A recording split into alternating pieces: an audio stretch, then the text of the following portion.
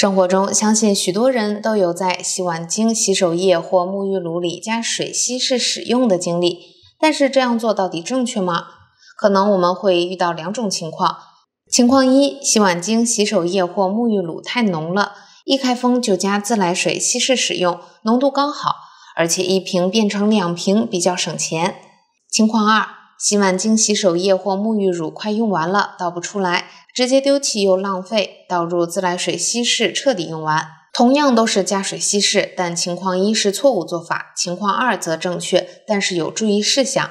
经验联合诊所皮肤科院长蔡一山在脸书撰文指出，自来水并非完全无菌，加到洗碗精或洗手液、沐浴乳的瓶子里，可能增加细菌或其他微生物的量。不仅如此，如果像整瓶产品中大量加水，还会让产品本身添加的防腐剂浓度被稀释，使防腐效果下降，微生物大量滋生，造成产品容易腐坏变质。如果觉得清洁产品太浓，能不能倒入另一个小瓶中再稀释使用？蔡院长认为这种做法可以，但强调要倒出一次使用的分量，并当次用完，以免滋生细菌。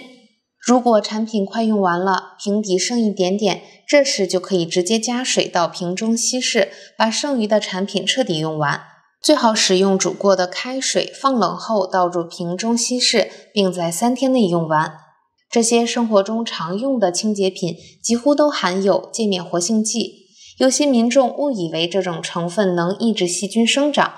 界面活性剂并没有抑菌的功能，防腐剂才有。界面活性剂是让两个不同性质、原本不相容的接触面变成不再排斥而靠近，因此产品里面有界面活性剂，不代表微生物无法生长。现在市面上贩卖许多清洁产品的补充包，如沐浴露、洗发精、洗手液等等，让购买的民众可以重复使用瓶罐，但这过程中也容易衍生滋生细菌的问题。如果原有的瓶罐内部是潮湿状态或有残留产品，都不宜直接倒入补充包。如果还有剩余的产品，最好先使用完再倒入补充包，因为剩余的有效期限一定比新倒入的短。瓶内若是潮湿状态，比如有自来水在里面，建议先风干再装。这就跟制作果酱装瓶很类似，装果酱的玻璃瓶都要用热水煮过消毒。等水汽散掉后再装果酱。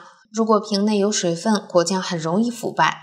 但家居清洁用品大部分是塑胶瓶，不能直接用热水煮沸，因此可倒入煮过的水，稍微摇晃清洁后再晾干，或是喷消毒酒精，确保瓶内干净干燥，再装入新产品。以上就是清洁产品加水稀释的正确方法。如果我们的视频有帮助到你，希望帮助我们按赞、订阅和转发。感谢您的关注，我们下次见。